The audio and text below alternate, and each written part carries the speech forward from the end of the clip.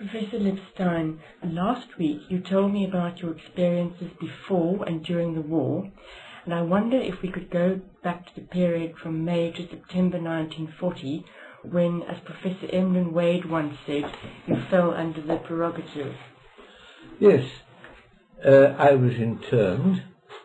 It went very smoothly and quietly because I'd been working on Whit Monday in the Squire Law Library when I walked home to lunch, my good friend Clive Parry came and said, they want to, the police has been, they want to arrest you, but they say have lunch first. After that, we all met in the Guildhall and were transported to Bury St Edmunds, and from there, in due course, after a week, which we spent on a meadow in Bury St Edmunds, very pleasantly, guarded by an officer who was a pupil of one of us, we were sent by, uh, by train to Liverpool. The crowd with whom I uh, stayed were uh, had some rather interesting members. Cambridge did not have many elderly refugees. We were all young people, and ours was a potential rather than a real status. But Perutz later on got a Nobel Prize, Michael Kerr, a student, became a Lord Justice of Appeal. Another became professor at the University of Cambridge in Science, and one became the Astronomer Royal for, for, uh, for Scotland. Uh, so it was quite an interesting number of people. One whom nobody else recognized, but of whom one said he looks like Frederick II the Great of, uh, of Prussia, was in fact the eldest son of the grandson of the Kaiser, who had been tucked away in Cambridge to be saved from the National Socialists, and who was uh, studying at Corpus Christi under one of the family names, which of course none of us knew. I got to know him quite well. He was a good companion, not uncomplaining, and capable of dealing with all the drudgery which occurred for us.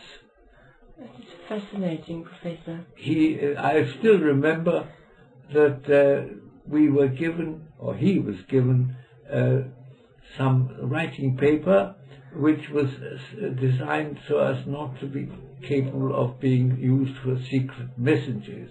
It looked awful. And there he was saying, very awkward, very awkward. My aunt has a birthday. I cannot send her this. The aunt was, of course, Queen Mary. so the war ended and you became a lecturer. Did you find that the law school and the library had changed greatly and that um, do you have recollections of the immediate post-war period as people came flooding back? Yes, there was a great change. Unlike in the First World War, uh, the university had not uh, closed down, but it had worked on a very reduced level, and the Faculty of Law probably had not more than 60 students, partly those who had not yet been called up, partly those who were, were not going to be called up, and partly some members from the Commonwealth who'd come. And now suddenly, we had several hundred people flooding in and had to start the whole new course. What's more, these were people who'd been through the war, many had been officers, they were people who had a mind of their own. I was at that time appointed in 1944, I was appointed uh, Secretary of the Faculty, and it fell upon me to plan the teaching uh, as these people flooded back to administer the faculty, to deal with the finances, and to represent it in every respect. So, did you think that the library was able to cope with this influx? The library was not bad, and in those days the demands on reading were not as hard and as detailed as they were now, especially since these people were all intending to read the primary, primary courses and not to do research. So you found yourself on the library committee for a number of years. roughly from 1946 through to 1974, and several well-known academics were on the committee at this time, and I wonder if we could start with your recollections of Professor Hampson. Hampson uh, was the son of the British consul in Istanbul and of his wife, who was a Frenchwoman. And this determined his whole character.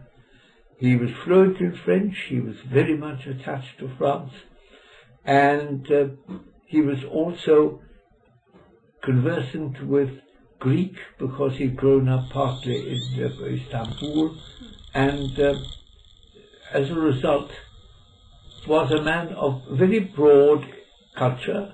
He was a classical scholar, and uh, he was one of the early young lecturers in the law school who made a name for himself. When I met him, he was a very active person, interested mainly in contract, but also introducing foreign law because he was fluent in French.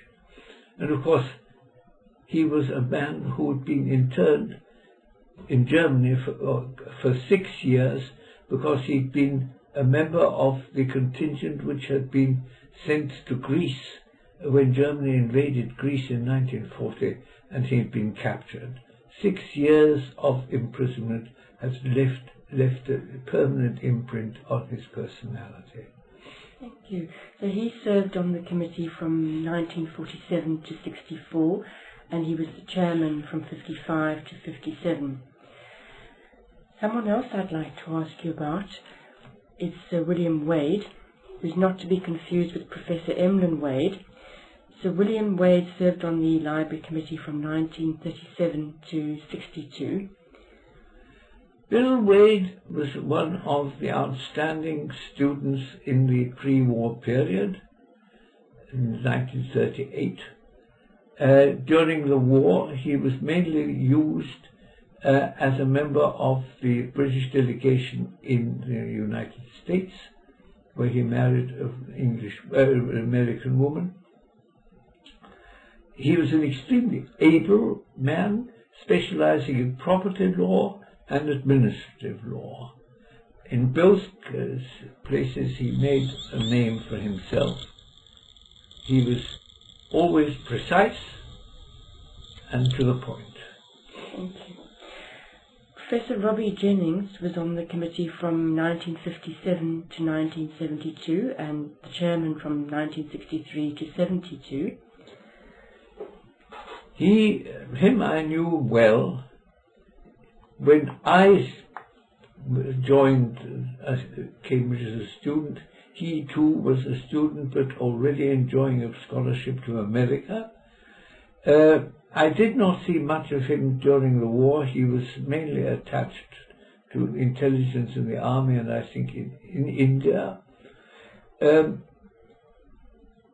he was an uh, outgoing person, capable, friendly, and probably left a considerable imprint on the faculty.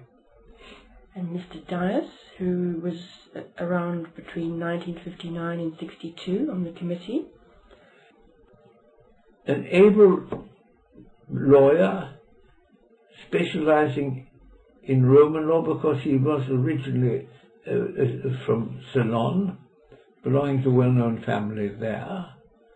Uh, I knew him quite well. He was a good, excellent teacher, and in the course of his life was a co-editor with uh, Markesinis of a book on the law of tort, of which I think he probably bore a very strong brunt. Thank you. And Dr. Glanville Williams, who was on the committee from 1957 to 67 and chairman from 66 to 67. He was an old friend of mine to whom I owe a great debt of gratitude. We were both research students in 1934, he at John's, I at Trinity. At that time he was a very lively, happy, uh, friendly, young man with blonde curls and a love for hiking and going out uh, on uh, uh, tours. He was one of the best pupils of Winfield who said that when he was a student for a PhD that really he deserved to have an LLD when he wrote his book on uh, the liability for animals. When the war came, he uh, took a step which affected his whole career. He became a conscientious objector, and this led in due course to his loss of his fellowship. And uh, when the war had come, and his remaining really a teacher without a college. And after the war, he accepted an appointment to London, only to come back later on to a professorship when most of his past history was forgotten. Thank you.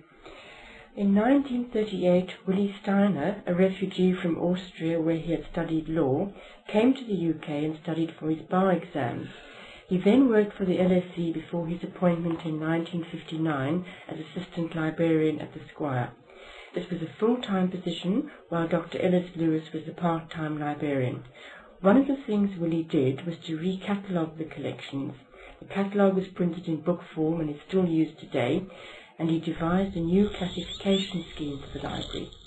Did these two innovations have a significant impact upon the library and its users? I believe they did, although it met with a certain antagonism. Uh, placing books on shelves merely by indicating the shelf in which they where they are uh, is an incomplete method, especially since books have to be moved and therefore soon the inscriptions are wrong. He devised a scheme very detailed as to subject matters, and I believe that it has worked. Prior to Willi's arrival, there'd been a long-serving team of Dr. Ellis Lewis, Teddy Hill, and Clarence Staines. How did Willi's arrival into the stable team alter the way that the library was run? Before then, it was run by amateurs, not by Dr. Ellis Lewis. He was, of course, a lawyer, but then he was not a librarian, and his greatest strength was his relationship to his pupils, not to the books. Uh, so it was very much, at that matter, time a matter of Staines and Hill, who ran the, sh- uh, the show, but that meant that they were capable of uh, classifying, uh, putting books away, and uh, generally looking to the maintenance of the collection rather than to its expansion or its completion. In 1968, Willi was responsible for appointing Mr. Peter Zawada to the library staff. Today, Peter is head of reader services. Do you have any recollections of him in those early days? A very helpful young man who gave, gave a lot of his time to keeping the library in good order. But uh, of course, his real services only came into being after the war. Professor Perry, when chairman of the Library Committee in 1968, wrote that Willi had succeeded in transforming the library. I have no doubt that Perry was right. He transferred the library from a useful a library at English common law to one of a research library which enabled people to deal with uh, a wild, worldwide range of books um, in a great number of subject matters. Thank you very much, Professor. Is that it? Thank you.